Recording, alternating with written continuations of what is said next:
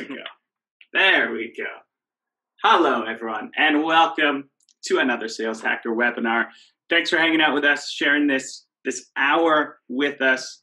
Hopefully, some of the things we'll discuss in this hour will have lasting effects far beyond just this hour. So it will certainly be worth your time investment, but we don't take it lightly. Thank you so much for hanging out with us.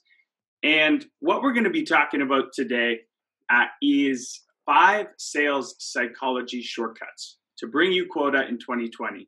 So, talking a lot about mindset, how to set up the brain, your overall well-being for for success, and we certainly have the right people on this webinar to discuss it. Before I introduce my incredible, incredible panelists, uh, super quick housekeeping as people trickle in. Uh, so we had uh, a ton of you join. I think it was just above, somewhere around 650, um, which is really cool. I see you all trickling in now. Um, but just two things. So number one, these are meant for the community. You know, we do these for for you guys and gals. So uh, if you have burning questions, things that you're struggling with now uh, mentally, there's a lot going on in the world um, please ask your questions. Be, be ultra specific, um, and we will uh, get to as many as we can. Um, and then it's also much more enjoyable uh, for myself, for the panelists, when we know who we're rocking with. So uh, if you can go down, uh, there is a chat section. Introduce your name, your title, what company you're from, um, so we can know who we're who we're hanging with. And secondly, uh, these are all recorded. So there's a whole slew of new things that can happen in this work from home world we live in. Uh, a dog can, you know, start biting your leg. Your kid can start screaming. Uh, a million and one things. If you have to jump off and deal with something, it's all good. We'll send this to you within 24 hours. Um, but that's it. That's all the boring stuff out of the way. Uh, I now want to introduce my incredible panelists. I am joined by Sanj, Kevin, and Josh. Gentlemen, welcome to the Sales Hacker community. Hell yeah, my man. Let's rock. Thank you. All right. Let's do it. And KD, I guess I should say welcome back. And why don't you kick off um, with what's the KD superhero origin story? Who are you? For those who maybe, you know, live under the LinkedIn rock and don't know who this beast of a human is, who's KD? Um, I don't know that I've reached superhero status yet, so I don't know if I can give the full origin um, story. But um, Kevin Dorsey, everyone calls me KD, VP of Inside Sales at PatientPop, um, and I think my sales origin story chose to get into sales because I thought it was the most um, secure job I could have.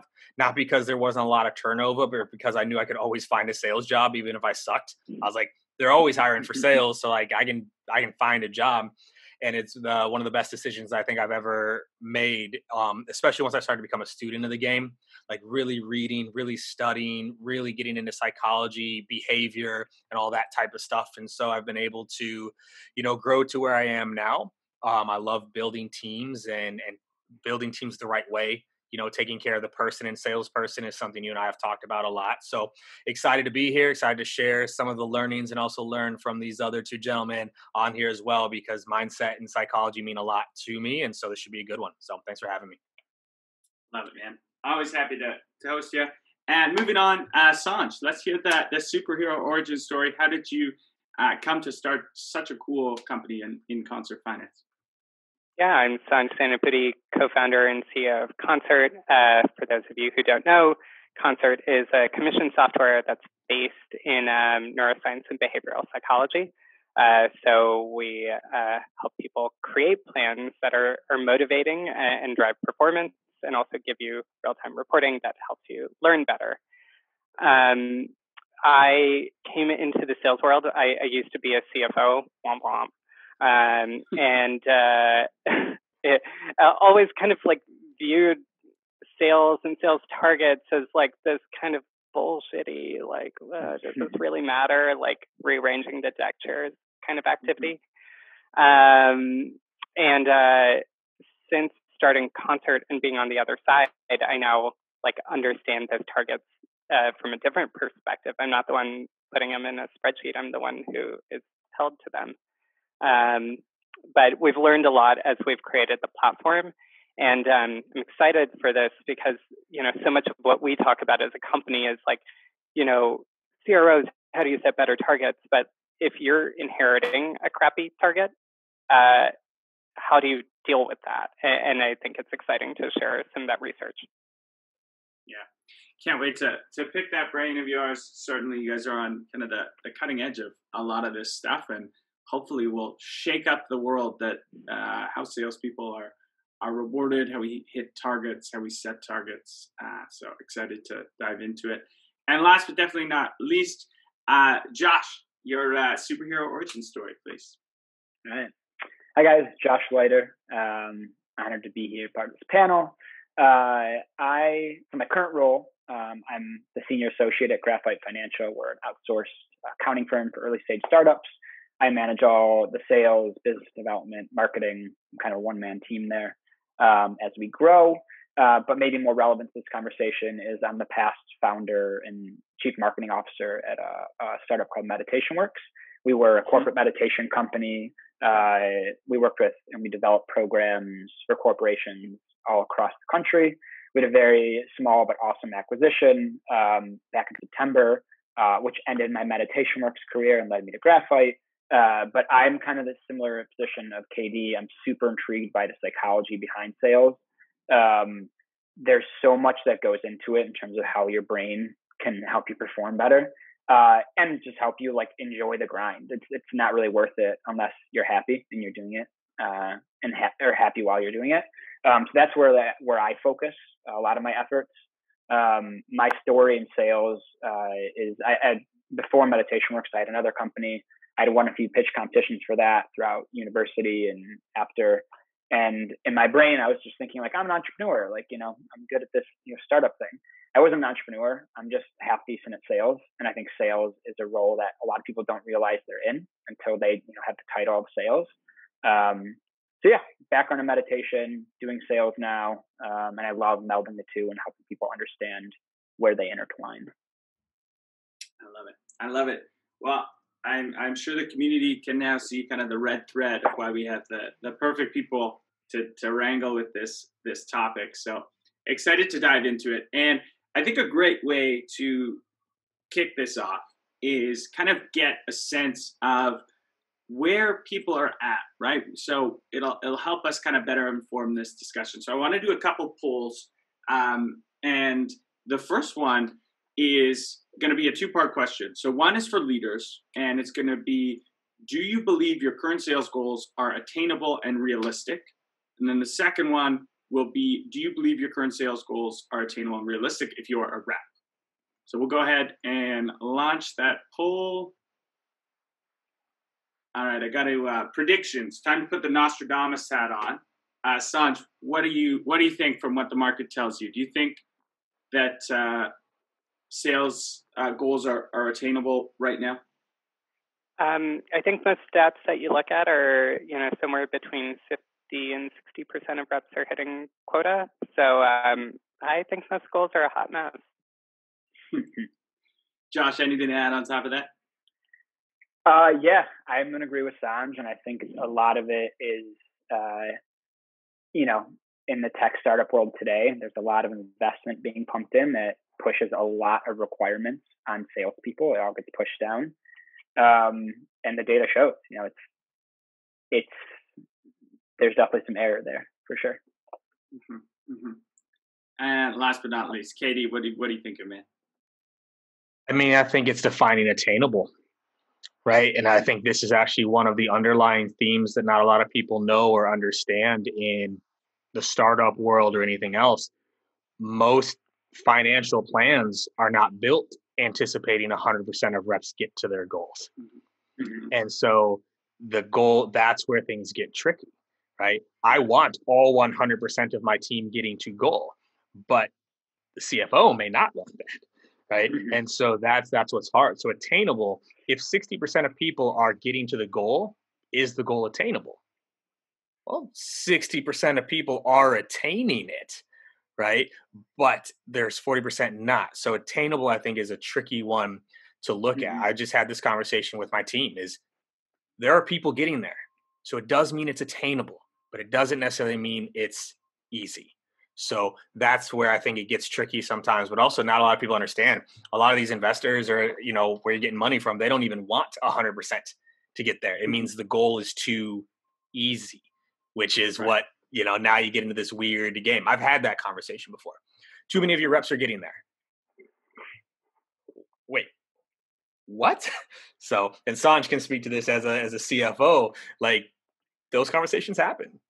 Mm-hmm. Yeah, it's not like our proudest moment, um, but once your model gets better, you have that conversation less. But mm-hmm. I think to KD's point, one more element of attainable is like is remembering that targets are perceived by people, right? Mm-hmm. So we each have an individual relationship with that goal. So like what is attainable to each of us is actually really shaped by our own experience, our own training, or you know, our how we perceive our colleagues. So uh, there's a lot more to it. Right, totally. And so we got the results in. All right, so 17% of leaders say our goals are way too unrealistic. We're not going to reach them. 52%, the large majority, say our goals are challenging, but we may reach them. Uh, 31% say we're on or almost on track and will likely reach it. Uh, no one thinks their goals are too easy, not one human. Um, and then from a, a rep level, uh, similar except less saying that they're on track. So only 17% saying they're on they're on track.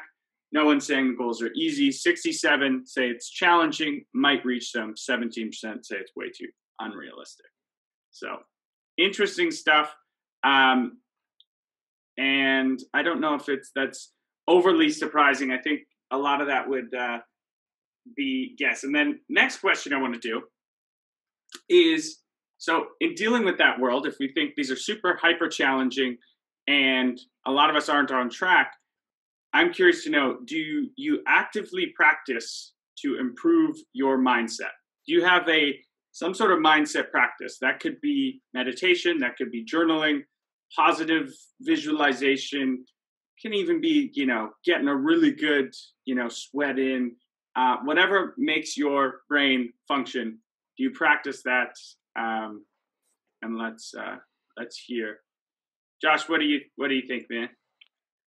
Yeah um, i think it's really number one like everyone should do some sort of mindfulness practice. I think we're all pretty aware that meditation and mindfulness not meditation itself mindfulness in general is very very impactful in our lives.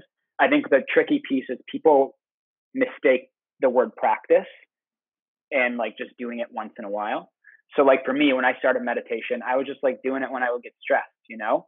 Meditation as a mindfulness practice, there are many other things you can do, but meditation in general is not something you just like do it when you're stressed. That doesn't really do anything for you other than in the moment it de-stresses you. Meditation is like going to the gym, you know? You do it once a month or twice a month. It's not going to really do anything for you. Just like going to the gym once a month won't.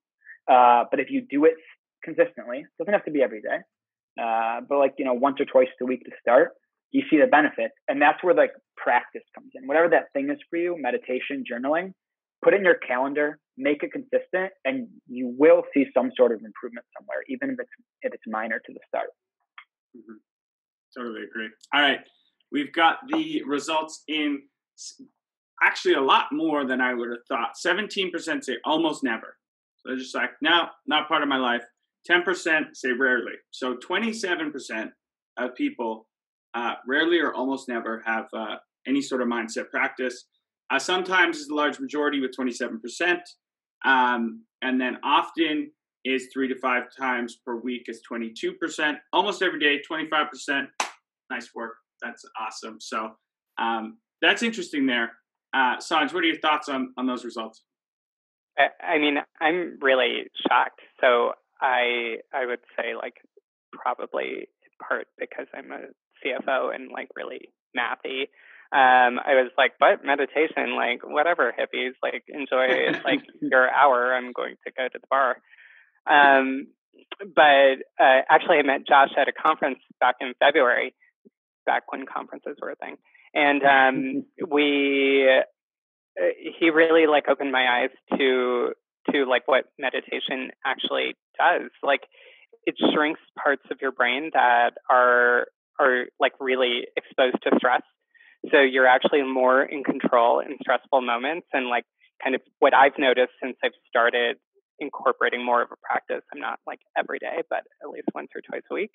Um, but I've noticed that when I'm in sales calls, I'm like less quick to jump in with an answer or less quick to respond to an objection. I'm I'm more able to like control that stress uh, compulsive reaction.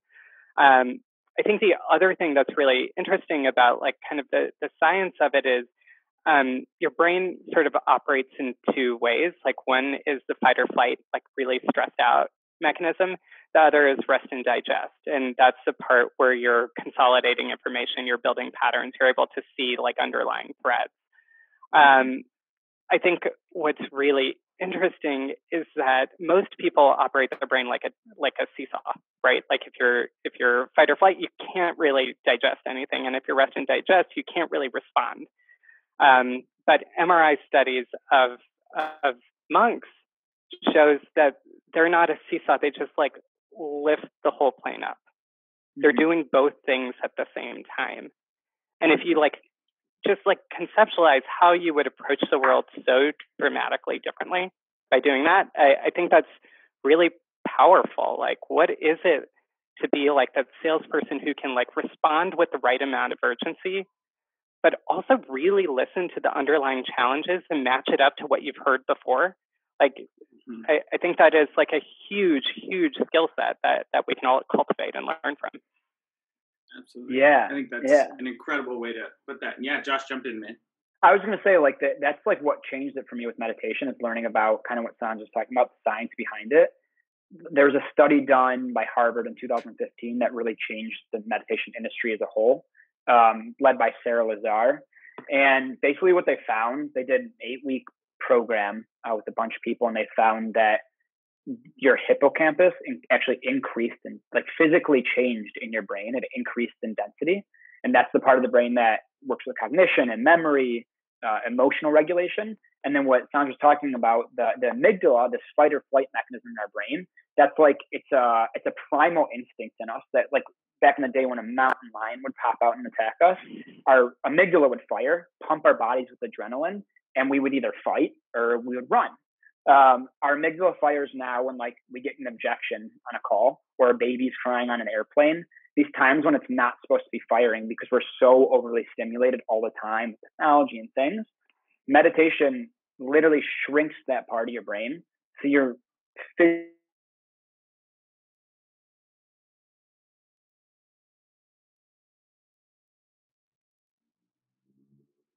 Is it me or him? I don't know. I I can. I think Josh froze. I think okay. it's Josh. All right. Well, we'll let Josh get back. Oh, there he is. Oh, Josh, you're back. so we, we lost you talking about the uh, amygdala and the flight or flight response. You know, a baby starts crying on an airplane. Uh, right around there. Yeah, just, just generally like it physically changes your brain to be less reactive. It's not like something that you will naturally do these things over time if you practice meditation or another mindfulness practice. And that's what's intriguing to me. It's like you're literally building or shrinking a muscle in your brain to pretty much make you a superhuman in the sales world, which is really cool. Mm-hmm. I love it.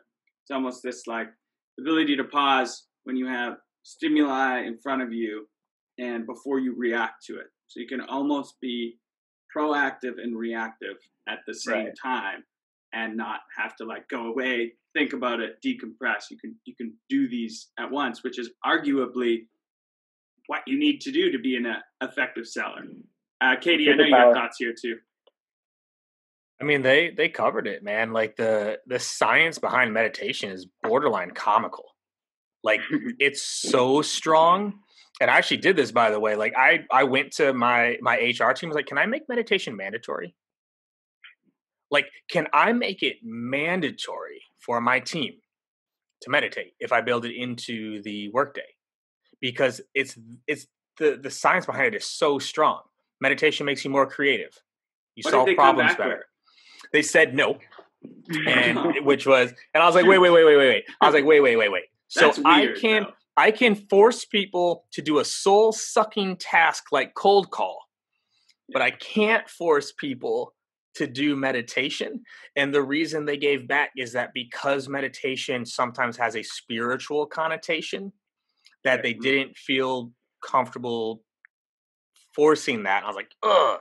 But at the same time, that we did like we did sessions that were optional and we've done this multiple times as groups is like meditating as a group and meditating like in a room together and doing guided meditations but dude like more creative less stress faster learning higher eq better listening better conversation i mean better sleep more energy better metabolism i mean it's stupid like it is like it's if i have something that strong and that's if i could give every salesperson one tool it would be meditation if every salesperson in this country meditated, we wouldn't see only 50% of them getting to goal. And even if it weren't about goal, we wouldn't see them burning out as much as they do. We wouldn't see them as stressed as they are. We wouldn't see a lot of the addictive um, habits that a lot of salespeople have because they're trying to offset the stress that they're having in the day to day, which has them seeking out the high energy, high impulse, high addiction type things. So I mean, I think everyone should do it. I really do. Take that one step further on every person, not just every salesperson. Oh imagine, yeah, for sure. Imagine where we'd, we'd be at right now. I love it. All right, let's get to the next poll. This is the last one, and then we're going to dive into uh, some of it here. So, uh, meditation, yes, that's one part of it. There's also this idea of you know leaderboards used all the time in sales. I remember having one. Um, you know, starting my my career. I think it's pretty table stakes. Curious to hear uh, does your team use a sales leaderboard to rank performance? And do you think they're they're they're motivating? Because there's a lot of differing opinions, and I'm excited to get the the science behind it from from Sanj and, and break it down. All right, let's see. We'll give three, two, one. All right. Does your sales team use one to rank performance. 58% said yes. Uh, 42% say no. Do you think sales leaderboards are motivating? Um, 153 say yes, I love climbing the ranks. Seven say I don't even really pay attention to it. 40% say no, it's not at all motivating, sometimes even demotivating. So that is interesting. So they're they're working for some, they're they're demoting others. So they're they're not only not working, but they're detracting.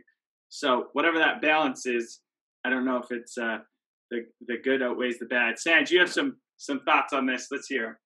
Yeah, uh, probably like the like most impressive, long term, well crafted study on sales performance and incentives uh, was one done by a professor at the University of Pennsylvania, and he he tested the efficacy of leaderboards. And I, I, think I'm really surprised to see that 53% of people find it motivating because what his study found is across all parts of the performance curve, lower performers, core performers, or, or really high performers, even superstars, everyone did better when they didn't have the leaderboard. um, and his his research research was like so well done that like Google's adopted it. Like it, it's kind of a, a big deal in like the organizational psychology world and I, I, guess like people who care about leaderboards. Um, but I think it, that kind of tells you a lot about why, you know, it's again that part of of the sales world where people are are like living on stress, right? Like you can't sustainably survive on stress. Um, so, like the actual science of it is there are ways that competition can be extremely motivating. A stack rank leaderboard is like not the way. It doesn't meaningfully engage you with your goal. It doesn't meaningfully engage you with the other participants. So the way to get some of those benefits is um, find a friendly rival. So you know, like Scott, say you and I are like like really neck and neck, like let's just try to do better than each other and have like a friendly wager on it. Um, so there there is like a pretty compelling reason to as an as a rep to turn off the leaderboard. Yeah, that's that's fascinating, and I think you know even this survey results, and someone has a great question. Why, why do you think there's a disconnect between that study and the way people feel? And it's because we've been told that they're motivating. That's what mm-hmm. that's what they tell us, right? They're like, oh, why are we having this? I don't want all my results. It's like, no, this is to motivate the team. This is to get people uh, there. So it's kind of it's that's the narrative that's been told to us for a long time. And we've got some people, you know, Alan says disagree. Rankings is like playing a sport, which I agree to a certain extent. But the best athletes I've ever known, and when you look at a lot of the best athletes on documentaries and stuff, they're out there competing with themselves. So they're competitive. They want to beat themselves. They're not. They don't care what buddy on the other team is doing. They're out to smash their personal best. Um, right. And so um, my wife was a gymnast. We followed gymnastics weirdly in my house. Um, and if you guys know Simone Biles, like probably the best gymnast who ever lived, um, she could have showed up to the World Championships last year, and just the starting difficulty value of her her skills, she could have fallen on every discipline and still been world champion. That's how freaking good she is. But instead of resting on that, Simone Biles rolls out two new skills that have never been done. That's what a superstar does. They're not climbing to the top of the board. Mm-hmm. Yeah. Mm-hmm. I love that. And they can only be almost be seen as distraction, right? Yeah. Like in that example, the leaderboard, if she had looked and been like, oh, I'm good. I'm already at the top. if that was the only thing driving. That's right. I love that top. It's it, it, like for some people it works for sure, and maybe it's just been instilled that it works but it is like such a distraction. Anything that you're like for, too forward thinking about isn't like doesn't allow you to perform in the present moment. Uh, one of the better quotes that I I try to live by, not always, but try, is I don't remember who said it, but a, a, a better life starts with a better year, and a better year starts with a better month, and a better month starts with a better week, and a better week starts with a better day. And all you can focus on is that better day to make that better year come. It's the same thing with these leaderboards. It's like you're telling people to like focus on that end result, like get to the top of that leaderboard when it should be the reverse conversation. Like, what are you doing today to get to that goal? And again, like that leaderboard, that end goal for a lot of people is, is a distraction, it takes away from the performance they could have. Mm, totally. And we're getting some great uh, questions coming in, and I'm just going to let the, the community drive because they always turn the best when I just do that. So um, here's a good question. This is from Scott uh, Segalarta. Scott, great question, man. Uh, KD, I'm going to hit you with this one. With the increased lack of response to calls and emails, uh, I'm reading through the lines due to COVID. How do you maintain confidence in the process of reaching out to prospects? So open rates and connect rates are, are going down. How do you maintain that in like real time? There's no time to go and meditate after every call. Is there though? Um, so you're on KD's Okay. yeah. So um, can you read it one more time just so I get the full question there? So the question is sure. how to maintain confidence in the process or how to stick with it when things are hard? With the increased lack of response to calls and emails, how do you maintain confidence in the process of reaching out to prospects? Got it. Okay. So I am a big believer, and I say this to my team all the time, is being proud of how you work. Okay. Being proud of how you work, not just the the end results. The confidence in the process you have to stick with, regardless of what those end results are right? Because things are harder right now. They are. But this is why I'm such a big believer in personal standards. Are you being your best self? Forget the process for a second, forget the end result for a second. Are you working in a way that you are proud of? There are going to be challenges in life.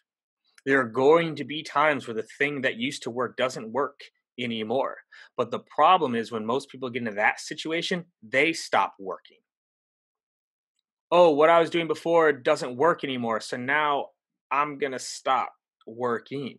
Right? So there are two different things. There's confidence in the process. There's your own personal standards of like, I'm going to be my best self did I do my best KD today? And if you're doing those things, and also why we're talking about meditation, if you're taking care of yourself, you might start to have better ideas too. Mm-hmm. You might start to find different ways to approach that process. You might come up with a new idea and be more creative. It's when you like come in on yourself and start beating yourself up because the end result isn't there. That's when you get in trouble.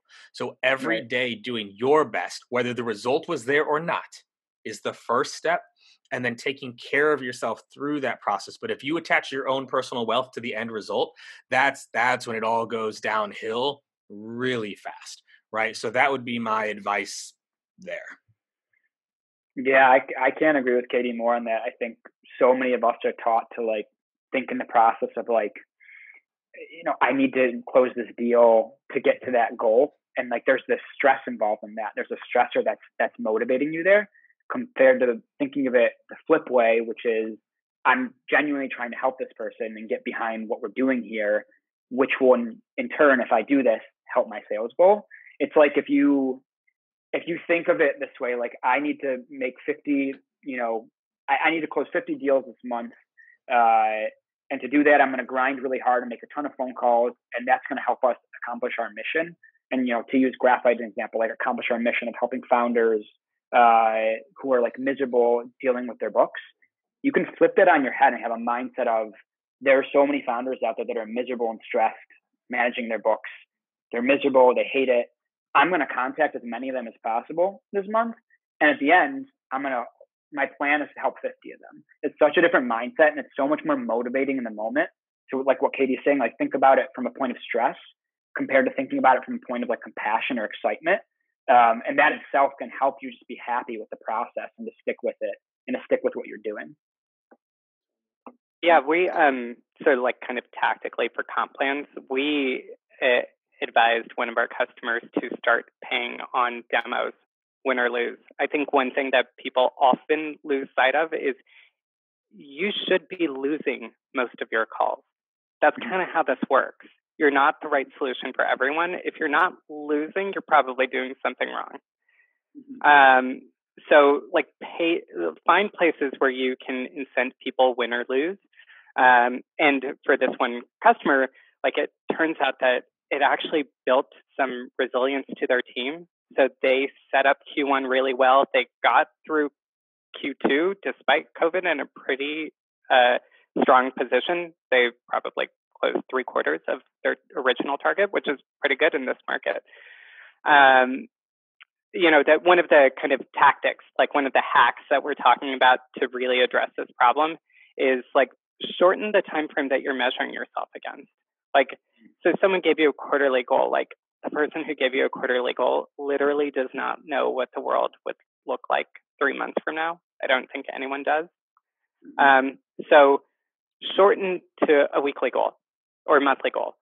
Um, what happens when you shorten your time frame of when you're measuring yourself is you end up translating kind of obscure goals into specific tactics. Um, so uh, uh, the example that's used when people are explaining psychological distance is like if I talk to you about like, KD, tell me about a vacation you want to take next year. You'll be like, oh yeah, you know, I want some sun. I want to be able to read this book. I want to listen to these podcasts. Great.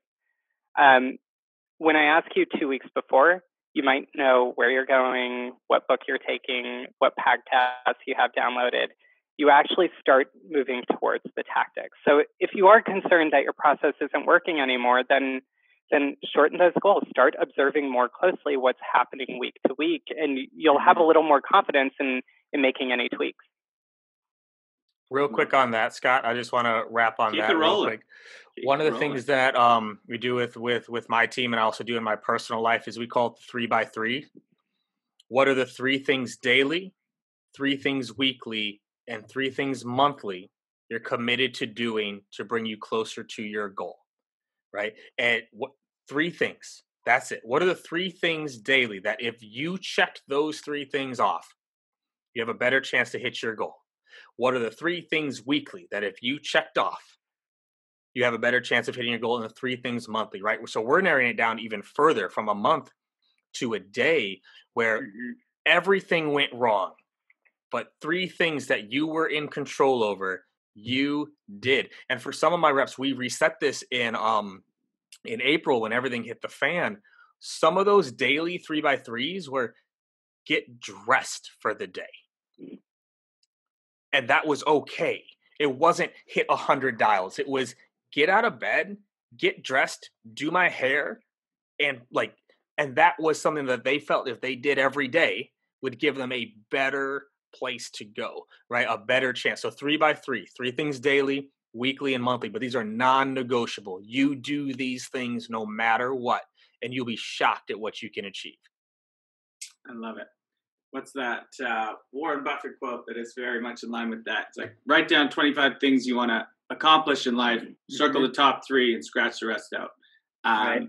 Because you know, focus is is a huge part of it, and you know, touching on a few things there, synthesizing a few things. I think, Sanj, your point on kind of incenting, incentivizing the behavior you want over the result is so incredibly key. Um, and you know, I think for me, and I've done a lot of, you know, self work in this area from you know living in the Amazon to like float tanks to like you name it. I've tried to figure this out, and like for me personally, which I think of a lot of people, is like happiness and confidence just comes from you telling yourself i'm going to do something and then you do it. So it's exactly what Katie said like just say i'm going to do this and then you you make that happen and then it allows you to tackle the bigger things and the bigger things. You know it reminds me of the the power of habit the charles duhigg uh, book that's incredible kind of in this vein. Um, all right let's keep it rolling though. We got a lot of great questions. Um, okay. Where was that good one?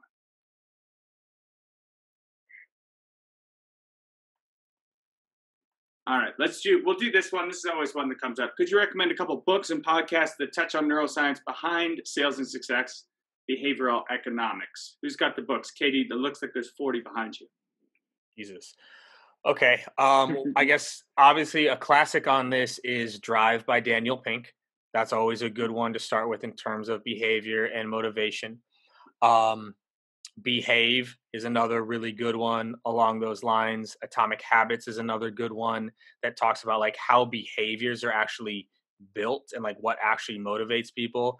Another good book is um, Why Motivating People Doesn't Work. Um, I wish I could remember the um, the author for that one, but that's a, a good one as well.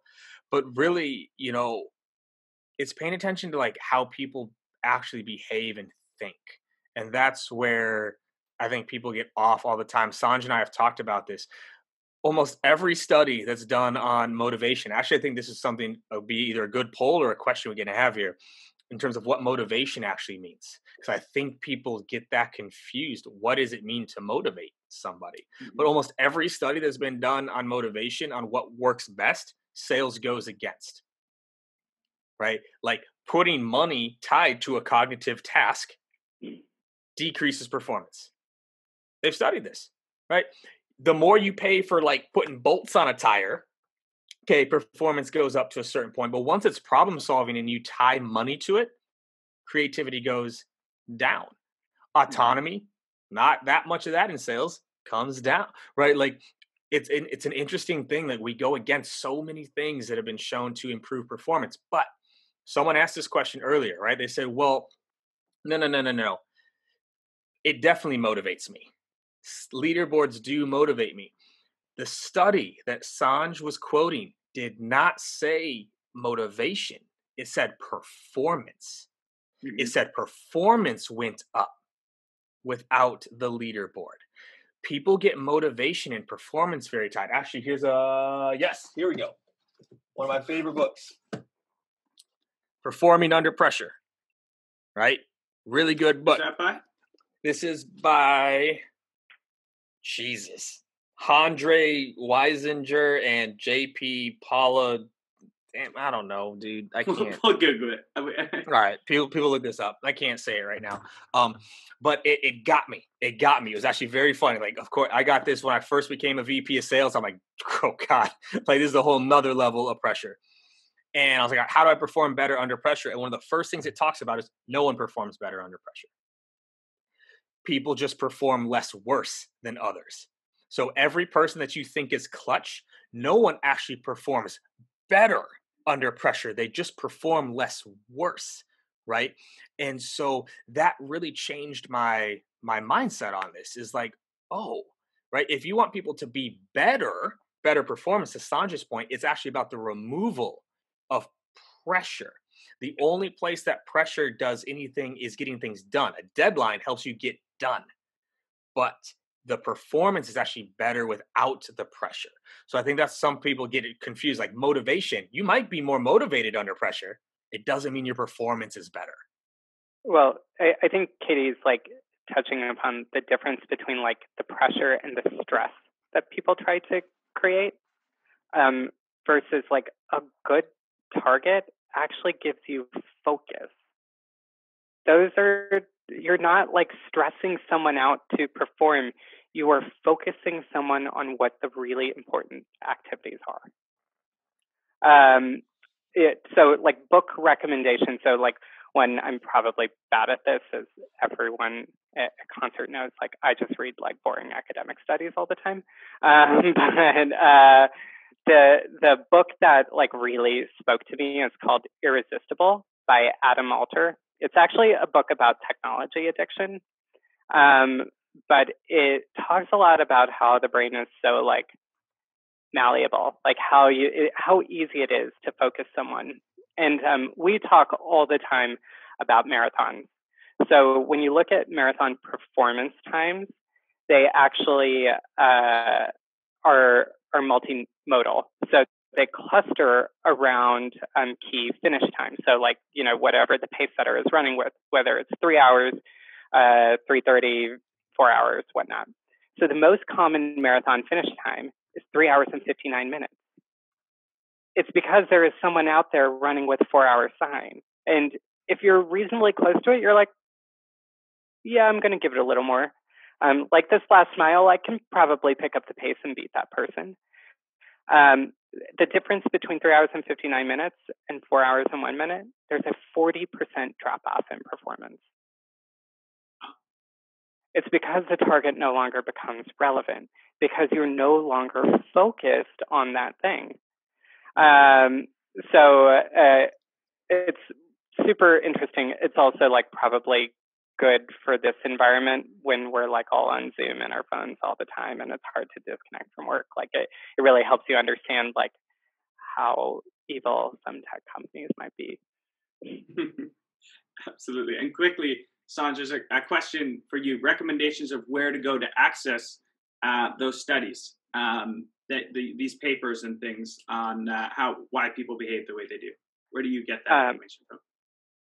So we've worked with uh, neuroscientists and behavioral psychologists who sort of point us in the direction of a lot of them. Um, uh, you, for a more accessible route, you can come to our blog post. We link to kind of the research behind everything, um, and we'll be sending out a few of these studies uh, that kind of touch upon the points we were discussing um, as a follow up to this. I love it. Josh, any uh, books quickly before we, we move on? Yeah, just one that comes to mind. You know, KD and Sanjay touched on a lot of good stuff.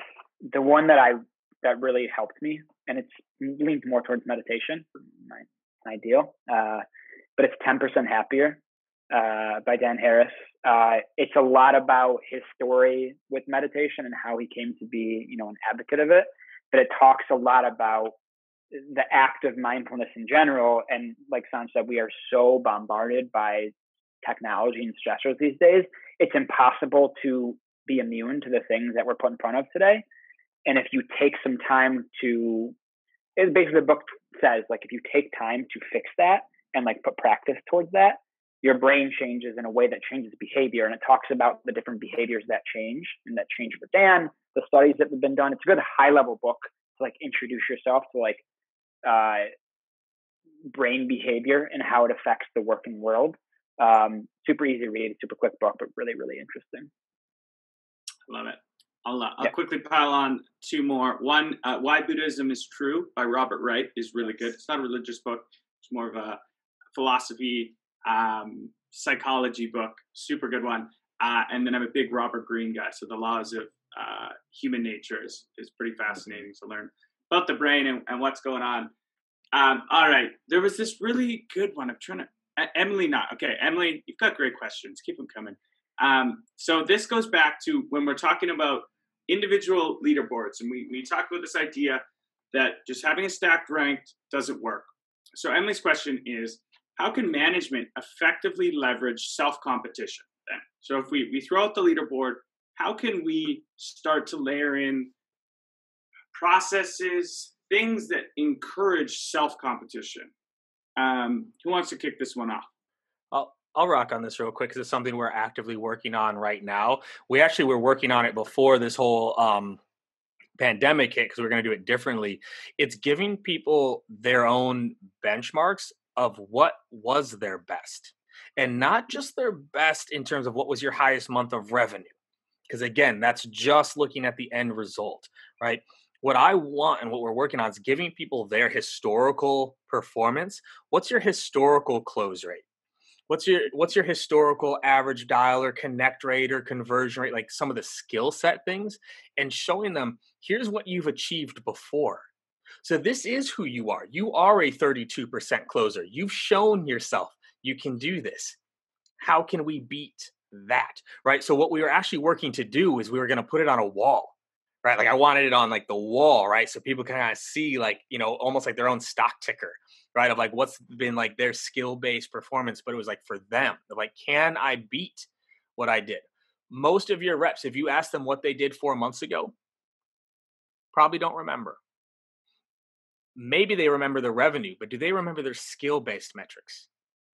Do they remember what their close rate was four months ago? Do they know their highest ever close rate? Do they know their highest ever connect rate? Do they know what month they had the most activity ever?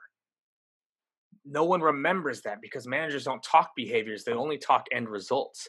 So I want a historical dashboard of showing people. I just had this conversation with a rep last week, really doubting themselves, right? Maybe I can't do this. Maybe I'm not cut out for sales. It's like, so you know you have the skill to be a 37% closer, right? Like you're the same person now as you were then, right? You aren't different right now. But if you start to tell yourself that you are, you're in trouble. You have these skills. Now, are you doing the same things now that you were doing then to achieve those results? So I think giving reps their own historical benchmarks of skill and performance that they can measure themselves against, because it's Sandra said the results aren't always going to be there. You can give the perfect demo and you might go 0 for 10 but then all of a sudden go four for five, right? It's it's looking at like are the behaviors in place that allow you to be successful and not just tying it to that end result, which I know is so hard for both sales leaders and sales um, people on this. I know that's hard, but you have to look at am I doing the right things mm-hmm. to lead to mm-hmm. the results and helping reps stay on track with that.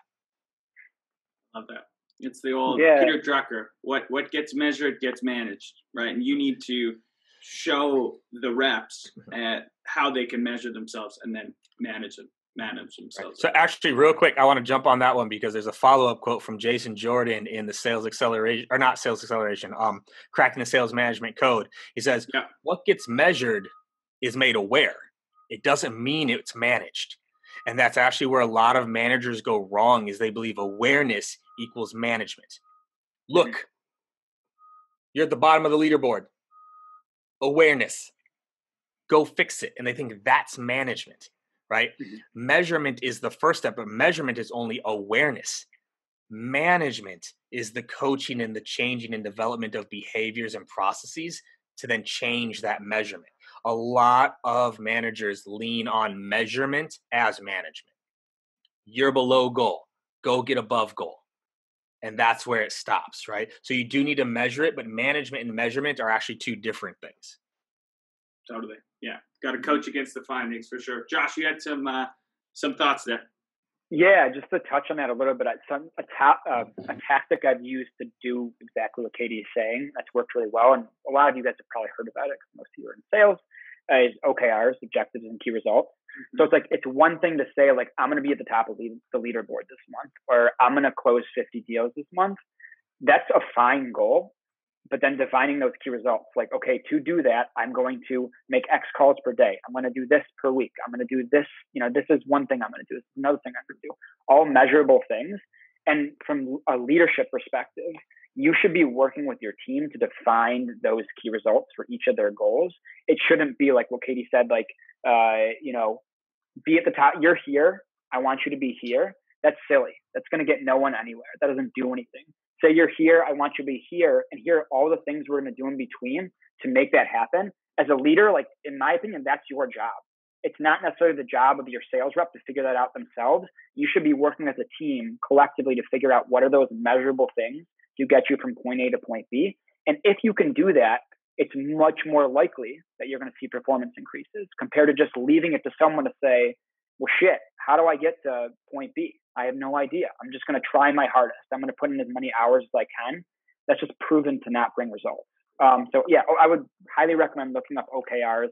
It's a really interesting topic in general, but just a good, easy tactic to define those things. Yeah, I'd um, add kind of related to what Josh and KD said, like kind of the the big picture part of this is is whatever you're giving to your team is feedback. So mm-hmm. if you want this reporting to be effective in any way, it has to follow kind of the hallmarks of great feedback. So feedback isn't useful. Like the the time value of feedback deteriorates significantly. So it needs to be almost real time. The uh, other part of feedback that's really important is that it's not emotional. So these aren't conversations. If you're a manager, these aren't conversations that you should be having with your team. I, I shouldn't say like, oh, Scott, you are like 20% away from quota. I should be talking to you about the tactics of how to close that 20%. You already know you're 20% away. So it, it's find that target, make it relevant, contextualize it, have a system generate that, make sure it's real time, and that feedback's actually going to be used. You will pick it up you will do better. Um, it's a little tough. This is probably the one where you're going to need your team to make investments on your behalf. Mm-hmm. But uh, you know, if you can build kind of an offline side way to do this, then it's worth it. It, it really will show up in your results. Great, points. There's also uh, I recently read this interesting uh, blog post on the power of hyper specific positive feedback too. So when you're when you're giving someone a compliment, don't just say, "Hey, you nailed that deal. Good job." Say, "Hey, I loved your ability to, you know, really articulate our value to each level of the C-suite. I, I haven't seen anyone on our team do it that well."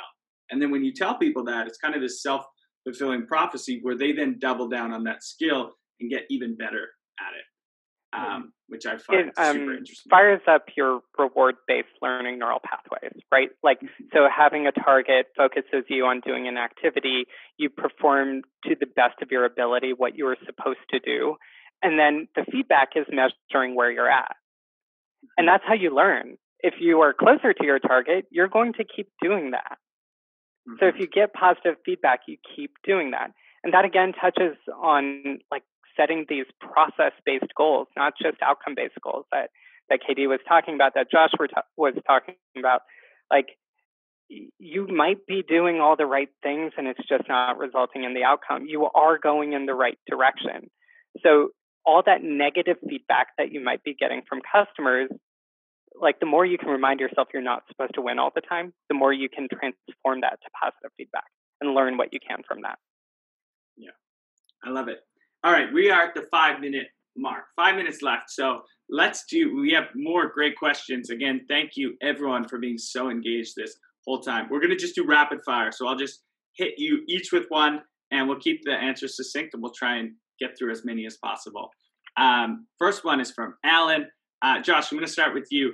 Um, he's saying, you, do you guys use any biohacks? Do you use any biohacks, Josh? Meditation, I would consider a biohack. Um, anything else you're doing to keep the the mindset and brain uh, working? Yeah, yeah. Look, this one's a, a, a tough question to answer because everyone's different. My personal opinion, and take this with a grain of salt. This is my life. I think a lot of the stuff out there, uh, talking about biohacks and all these things you can do, is a lot of garbage. There's not a lot of data to back it up. You know, not to call anyone out with products like this, but it's it's it all comes back to the mindset. How does your brain function under stress, under pressure? How does your brain function on a daily basis to help you do better? And the only way to to like at least from the science today to affect your brain and physically change it is some sort of mindfulness, some sort of like practice habit with your brain. Um, meditation is the easiest biohack because it's really, really straightforward. There's so many resources out there. I saw someone asked about like what apps to use. I can definitely touch on that in a second. Um, but it's just the easiest way to like physically change your brain, um, you know, bio- biologically change you to perform better, to be happier.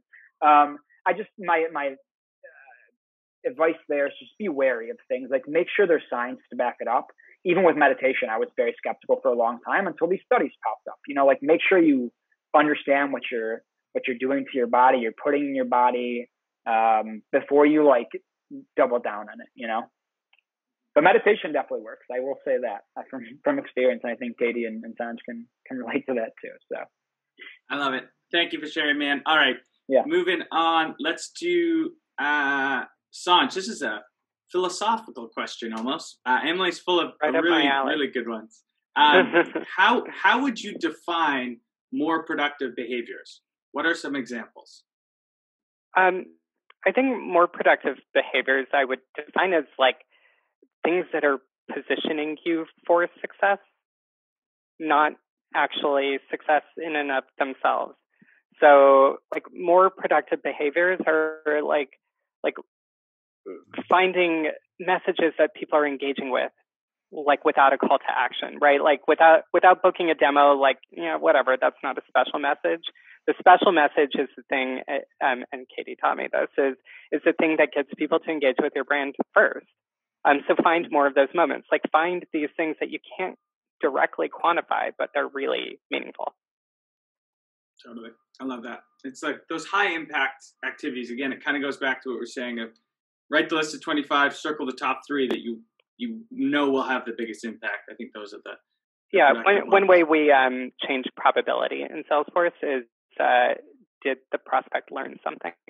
Like we we kind of internally discuss like did that person learn something from the call? Did we change the way they think about this? And and that is like hard to directly measure but really impactful all right, one last question, KD. It's coming your way. Sometimes I get so lost in the day to day that I lose sight of why I'm working so hard to begin with. How do you keep yourself grounded in your why? So, one, back to the theme meditation does an amazing job of allowing you to be more present, to separate things out, and just like to take that breath. But I'm actually, hold on, I think I can do this. Um, so, right over there are my goals my three by threes, my um, vision board. Like it's there as a reminder. I see it anytime I look left. It's right there, right on why I'm doing what I'm doing. But I've also written out why I'm doing what I'm doing, right? Why is it worth it? Why am I willing to go through the struggle? This was something I learned that changed how I did goal setting and visualization, right? A lot of people teach visualization to just visualize the end result. Oh, I'm on the beach with a six pack and a pina colada with seven million dollars in the bank, and I can just picture the end result. They've actually found that to be demotivating in terms of changing behavior. You actually do need to visualize going through the process, going through the struggle a little bit. What does getting there look like, right? So I have that all written out in terms of why am I doing this, right? But then every morning, that's what I look at when I'm journaling, I write it out, right? So the more you can ingrain it into your day to day, the better. But when I get a break, the first thing I'm doing is just taking a deep breath. And I'd encourage everyone as we end this, take a deep breath for just 10 seconds here. Breathe it in, hold it, and let it go. And think about your why. Right? Breathe it in, let it go. Why am I doing this? This is why then go to your next meeting. Be 10 seconds late. That's the only reason I'm ever late is because I'm just doing breath work. That's the only reason I'm ever late. But um, that would be my advice there. one, write it out. Two, make it visual. Three, build it into your day to day. But the fourth, take a breath and bring yourself back there. I love it, man. I now have my next excuse for when I'm when I'm late. So thank you. I was just that. doing breath work. All right. So quickly to reiterate, uh, the five brain hacks. So one, seek real time feedback. You can learn 2x better about patterns of achieving success. Manage temporal distance, set shorter time frame targets, break it into bite-sized chunks. Manage experiential distance, setting goal for yourself that's better than your previous self. Um, getting competitive, but competitive with yourself turn off that leaderboard, stop comparing yourself to others. And then, of course, we really hammered this one home meditation and goal visualization. So unbelievably huge. Um, all right, Josh, Sanj, Kevin, thank you so much. That was such a fun session. It really, really was. Oh, yeah. um, I appreciate all your insight. And thank you, everyone, for the incredible engagement. As always, appreciate you all and have a, a fantastic weekend. Oh, almost at the weekend. Yeah. Almost there. Almost there. Love y'all. See ya.